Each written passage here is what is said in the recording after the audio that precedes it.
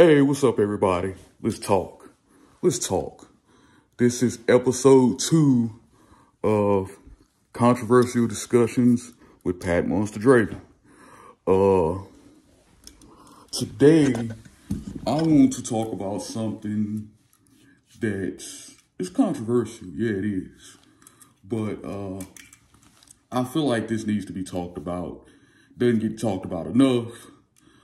But dealing with people who are emotionally, mentally, and spiritually abusive. That comes with religious people. It comes with uh, people who gaslight other people. People who who uh, insult people and call it motivation. And they do it not to motivate, they do it to tear other people down and disguise it as something else. You know, I've dealt with all of this within the last seven years, and I want to talk about it. Uh,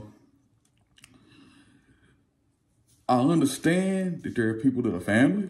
I understand that there are people that are like authority figures, but you don't have to tear somebody down.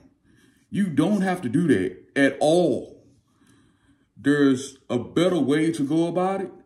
And that's toxic. Also, that's very toxic. People to do that are toxic. Very, very toxic. Like, you should not have to be abusive to somebody verbally, physically, in order to get your point across. You don't have to curse at somebody to get your point across. And people who are emotionally abusive, they go on your emotions and then they sit there and play with your emotions to the point to where they cause you to go through that.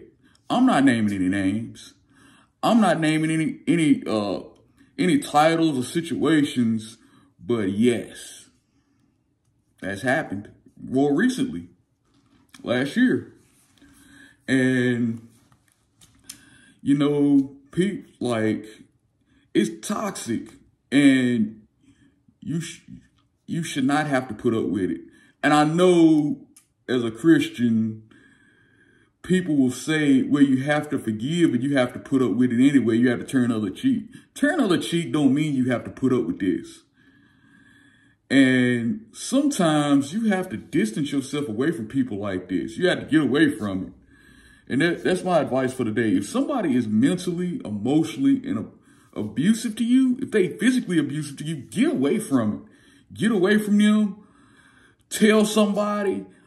Reach out and find a way to get away from it. All right. Love y'all. God bless y'all.